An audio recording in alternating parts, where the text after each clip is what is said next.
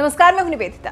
बंगाल की राजनीति बहुत ही दिलचस्प मोड़ पर आकर खड़ी हो गई है, क्योंकि एक तरफ़ ममता दीदी हैं, जो बीजेपी को घेरने का एक मौका नहीं छोड़ रही, वो तो अपशब्द कहने से भी बाज नहीं आ रही। वहीं दूसरी तरफ़ है बीजेपी, जिसे इस बार फुल कॉन्फिडेंस है कि इस बार बंगाल में भगवा ही लहराएगा। तभी तो अब दोनों ही दल मिलकर बंगाल में अपने लिए ज़मीन पक्की कर रहे हैं और फ़िलहाल ले रहे हैं नेताजी सुभाष चंद्र बोस का सहारा। महापुरुषों और प्रतीकों के नाम पर बंगाली अस्मिता के मुद्दे से जुड़ने में जुटी बीजेपी ने अब आवाज़ हिंद फौज के संस्थापक नेताजी सुभाष चंद्र बोस के नाम पर बंगाली लोगों से भावनात्मक जुड़ाव की कोशिशें शुरू कर दी हैं।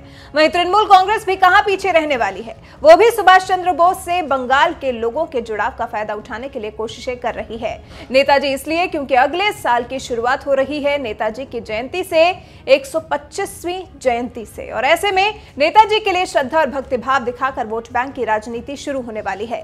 तेईस जनवरी को ओडिशा के कटक शहर में जन्मे नेताजी सुभाष चंद्र बोस की अब अब 125वीं जयंती आ रही है और इसी उपलक्ष्य में ममता सरकार की तरफ़ से कई भव्य आयोजन आयोजित किए जा रहे हैं, जिसके लिए एक हाई लेवल कमेटी बनाई गई है, जिसकी अध्यक्षता खुद सीएम ममता बनर्जी कर रही हैं। कमेटी में सीएम ममता बनर्जी के अलावा बंगाल सरकार के वरिष्ठ अफसरों और कई विशिष्ट लोगों को शामिल किया गया है। विशिष्ट लोगों में दो नोबेल पुरस्कार विजेताओं अमर्त्य सेन और अभिजीत विनायक बंधोपाध्याय समेत कई और लोगों को शामिल किया गया है। वहीं बीजेपी भी कहाँ पीछे रहने वाली थी? भाई बंगाल में बीजेपी को खुद को स्थापित जो करना है तो इसी तर्ज पर काम करते हुए केंद्र सरकार की तरफ़ से गृह मंत्री अमित शाह ने एक कमेटी बनाई है, जिसमें नेताजी के परिवार के लोगों को और कई बड़े नामों को शामिल किया गया है। केंद्र और राज्य सरकार की इन दोनों समितियों को नेताजी के जन्मदिन के अवसर पर तमाम कार्यक्रमों का आयोजन करने की ज़िम्मेदारी दी गई है।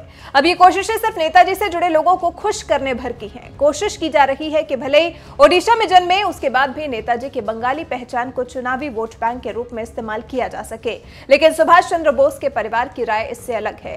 नेताजी के परपोते चंद्र कुमार बोस कहते हैं कि सुभाष चंद्र बोस सारी दुनिया के लिए एक महापुरुष हैं। उन्हें किसी राज्य से जोड़ने का मसला आए तो ऐसा भी हो सकता है कि ओडिशा में जन्मे नेताजी पर वहाँ के लोग अपना दावा करें। लेकिन असल में सुभाष बाबू सारे देश के हीरो हैं। ऐसे में परिवार के मुताबिक नेताजी को सिर्फ़ एक राज्य से जोड़ देना ठीक नहीं होगा। वहीं जानकारी के लिए आपको बता दें कि कोई पहला मौका नहीं है जब सुभाष चंद्र बोस के नाम पर बीजेपी और टीएमसी के बीच में राजनीति हो रही हो। इससे पहले उनकी मौत से जुड़े दस्तावेजों पर कई बार राजनीति और वोट बैंक के लिए दौड़ भाग देखी गई है। ममता सरकार आरोप लगाती रही है कि वादे के बाद भी सरकार में आने पर बीजेपी ने नेताजी की मौत से जुड़े दस्तावेज़ साझा नहीं किए हैं। वहीं बीजेपी कहती रही है कि नेताजी की मौत की थ्योरी का सच क्या है, वो उसे बाहर निकालने की कोशिश करेगी। हालाँकि नेताजी सुभाष चंद्र बोस का निधन कैसे हुआ, कब हुआ कोई नहीं जान पाया। ये एक राज है जो अभी तक दुनिया के सामने नहीं आया है।